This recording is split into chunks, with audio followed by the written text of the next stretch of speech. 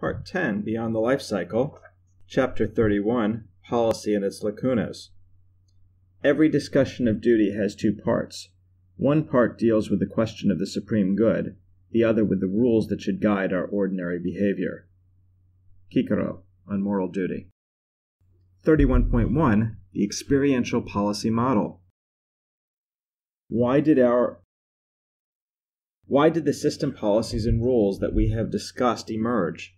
In the spirit of William of Ockham, our best explanation is that just as experiences follow from policies, policies follow from experiences. This experiential policy model is simple and explains a lot, but puzzles remain. Policies divide nicely into those based on social and political consensus and established and implemented by law or social custom, and two, those created by the modes for their own purposes and embedded in moral practice. The first category is what most policy analysts think about when the word policy arises, but the second is important as well, but is more often in the domain of the management consultant. We talk about both here. Policies reshape experience and the process continues. We visualize this process in Figure 31.1. As we have seen, the experience of one mode frames policymaking for other subsequent modes. Understanding the transportation experience is the key to understanding policy and the life cycle of technologies. An operative word is learning.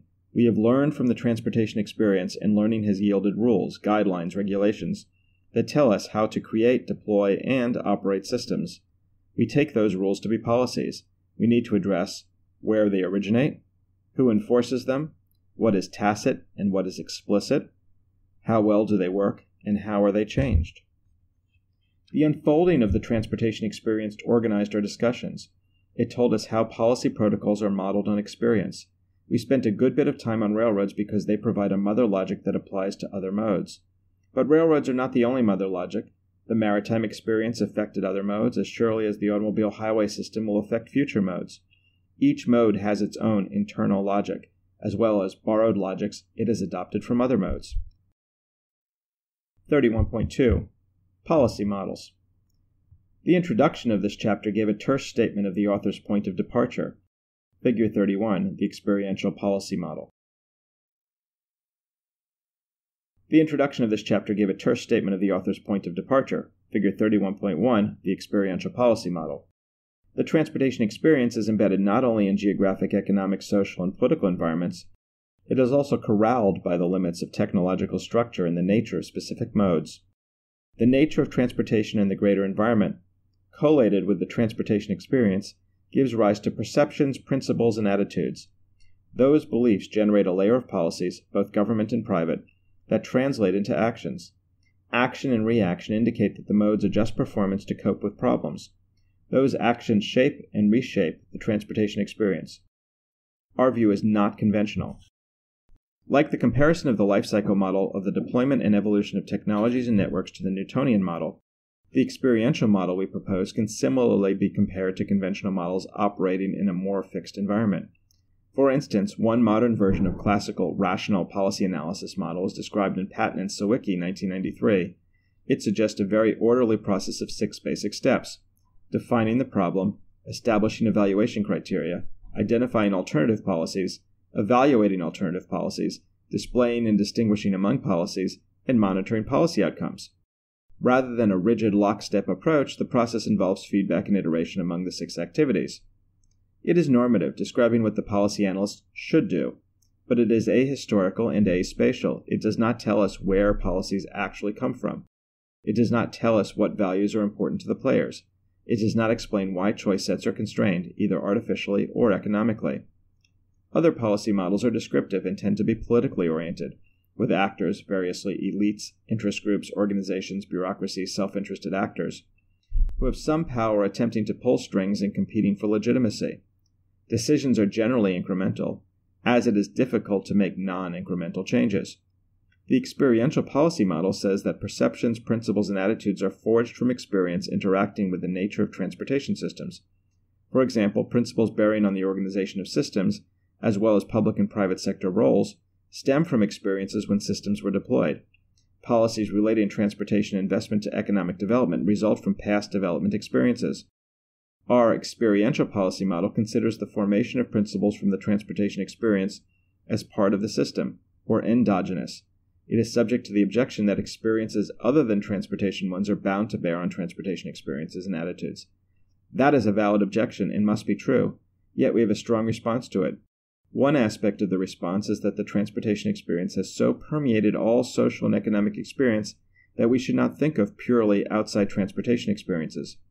The deep and economy wide impacts of the railroad experience on institutional forms, financing, government activities, regional economic organization, and so on illustrate the impacts as well as the transfer of transportation experiences. As we point out elsewhere in the book, national industrial policies have roots in transportation experiences. The explicit recognition of embedded policies is another important way the experiential model differs from the conventional model.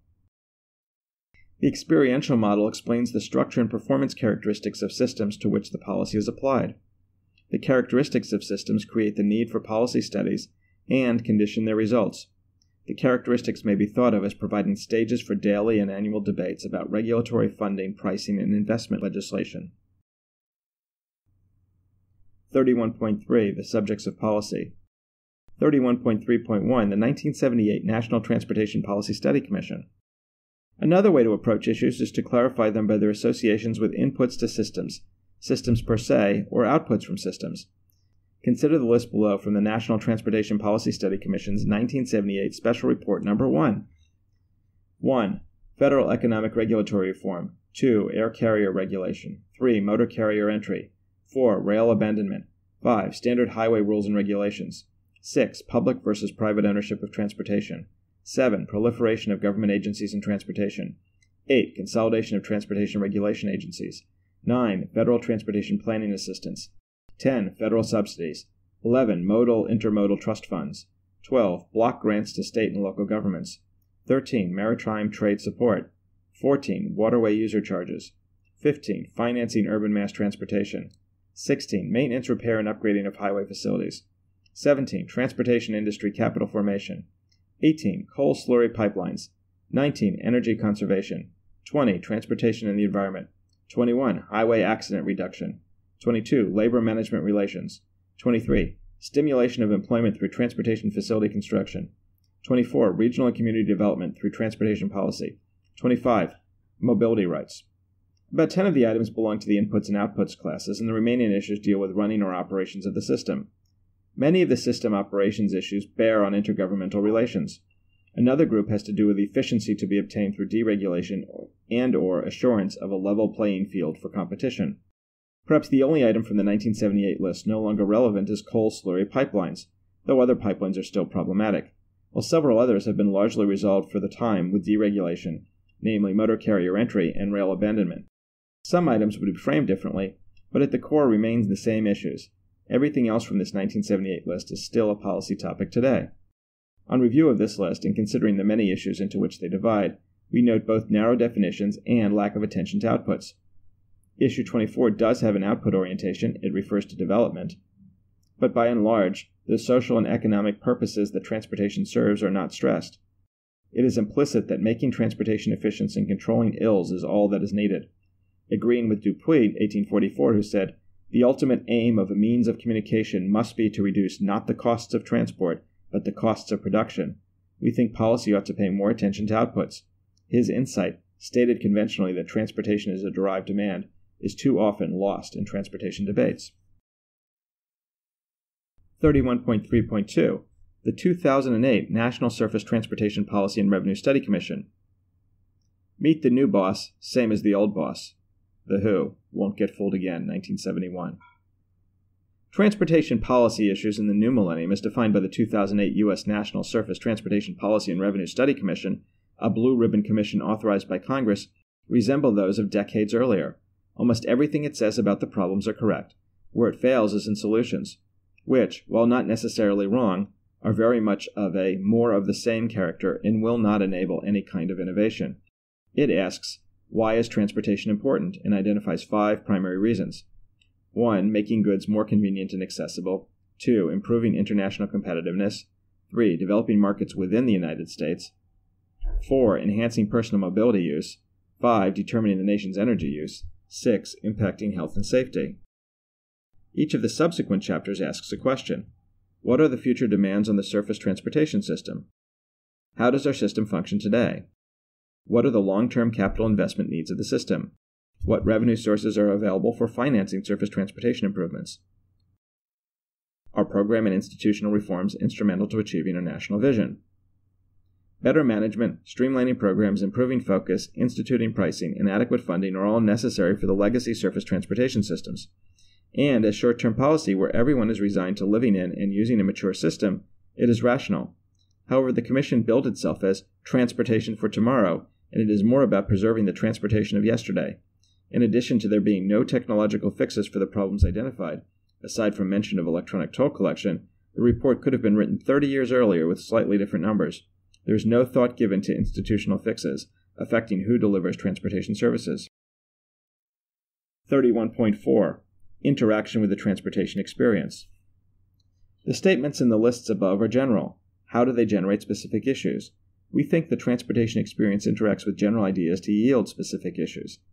How does that work? The experience yields policy part of Figure 31.1 suggests a closed system moving along a trajectory. But the environment changes, and it is the transportation experience plus the changed environment that triggers issues. These become policy issues if the situation is in conflict with one or more of the items on the list. We should also recognize that government involvement in transportation is large and long standing. Also, there has been feedback from transportation experience to the general function of governments. The transportation experience thus has affected governments and ideas of what government should do in a rather broad fashion. The relation is not one way. Transportation has affected the development of government roles, government roles have affected transportation. It is also worth noting that sometimes general policy applied to transport is taken to be transport policy, for instance, accounting rules or EPA rules. Also, we should keep in mind that the transport experience is not broadly known. Individuals know fragments of it, depending on how they are positioned within a mode. The recent experience is better than known than the historic experience. The longer experience extends to many of today's topics toll roads, defense, value capture, subsidy for maritime transportation, transportation and land use relations, deregulation, network rationalization, etc. However, since that experience is not widely known, it is sometimes ignored when framing policy. 31.5 Doing Better.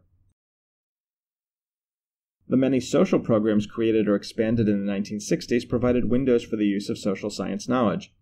What was known could be used to cure housing problems, fix education, solve urban problems, and do many other things.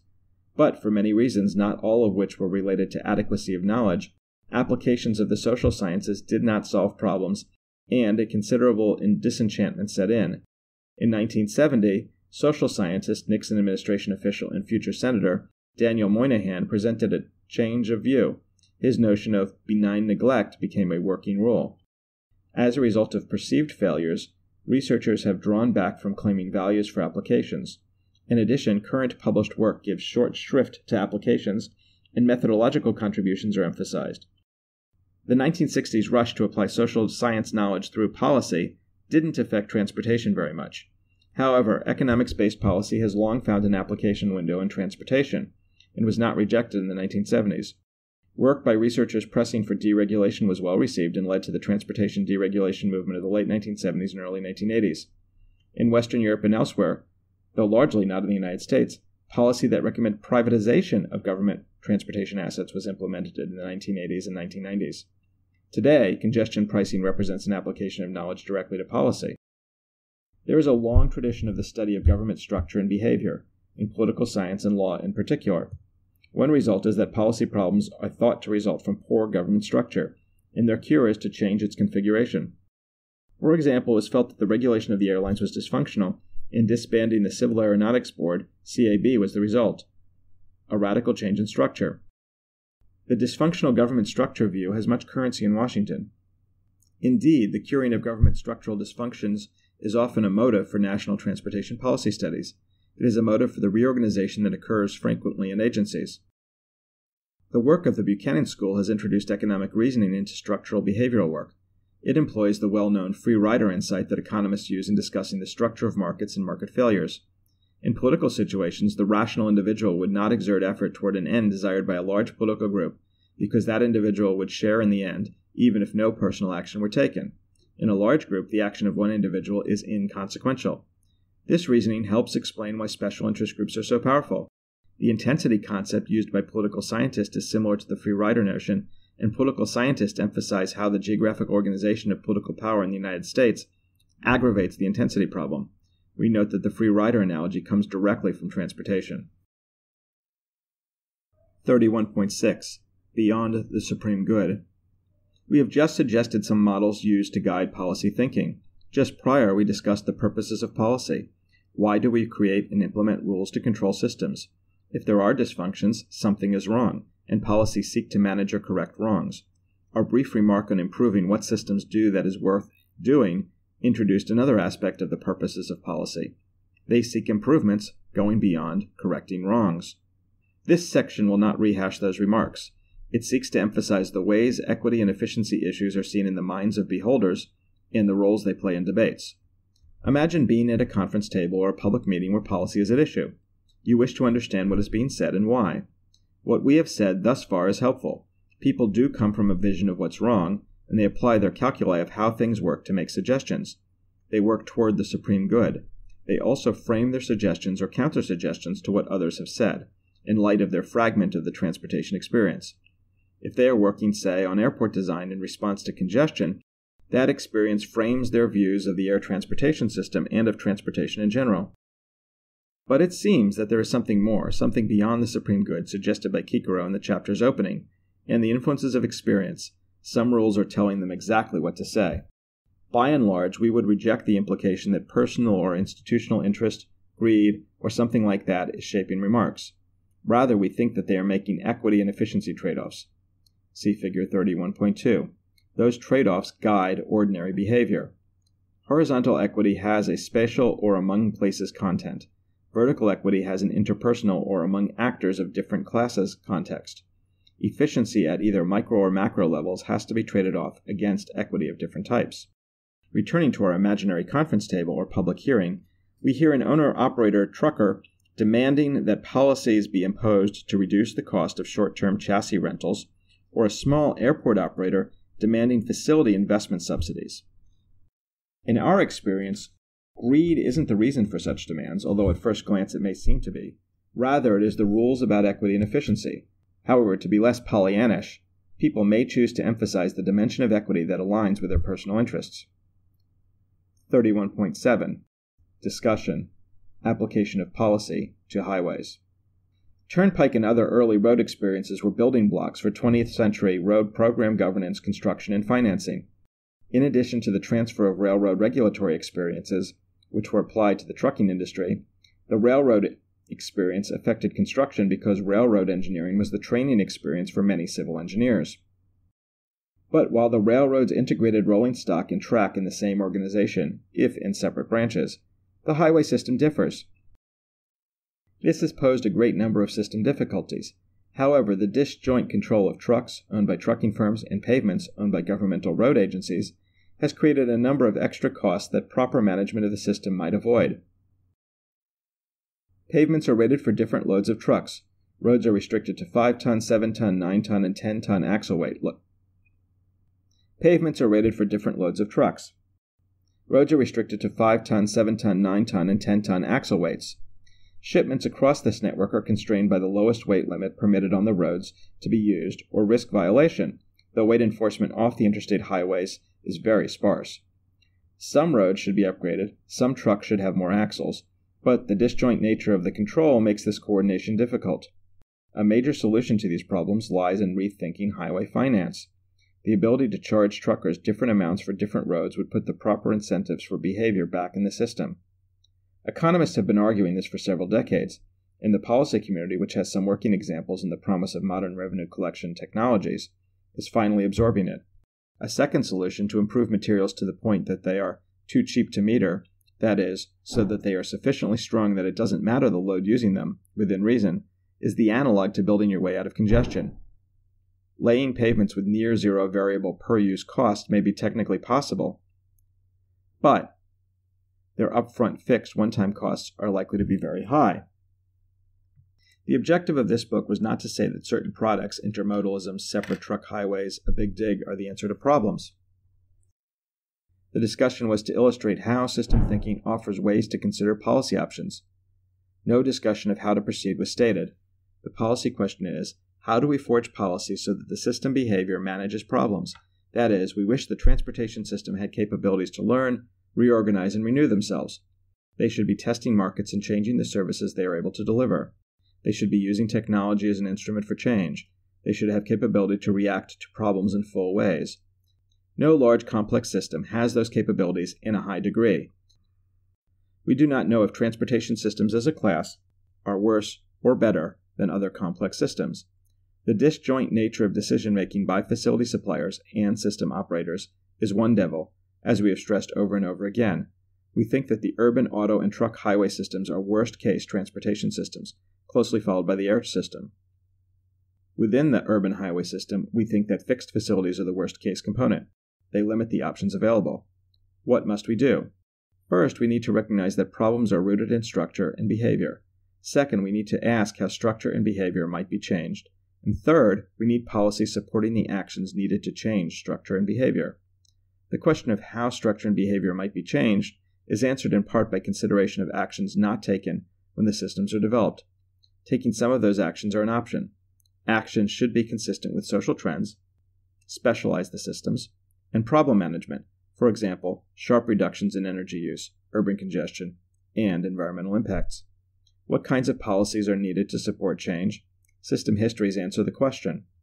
Policies should support innovative individuals and institutions exploring niche specific markets. Policy should give priority to new combinations. The old will enter those combinations, for instance, the extensive right of way of the highway system. Lots of new technologies might enter, such as developments in electronics. Policy should recognize resource constraints and ecological realities. Policy should also recognize that successful transformations will track social and economic development trends. We think the four general statements just made should guide policy, but are well aware that most policymakers would want something more specific.